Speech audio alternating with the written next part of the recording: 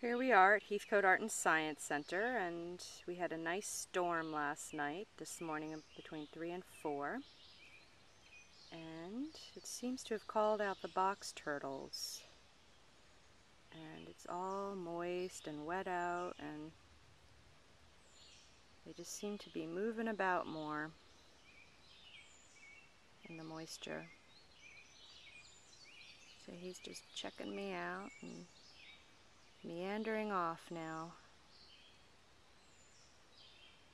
Isn't he pretty? Look at the lovely pattern on his shell. Be a six-sided shape there. They're called scutes and they make up the shell. It's like a plate of armor. And he's a little skittish ready to close up his shell if I get closer. Hello, box turtle.